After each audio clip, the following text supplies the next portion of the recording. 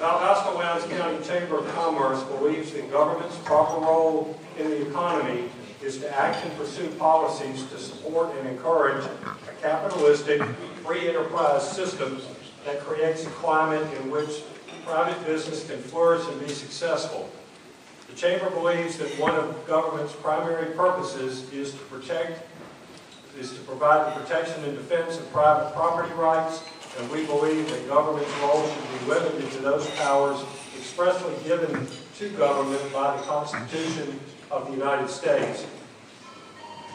We believe that the government's role should be limited in nature and should encourage entrepreneurship through a tax system that rewards rather than punishes productivity and innovation.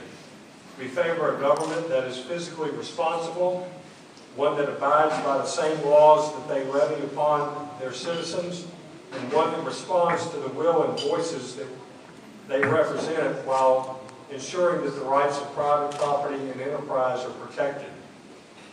We acknowledge that the use of governmental incentives can be effective, but only endorse incentives that support American jobs.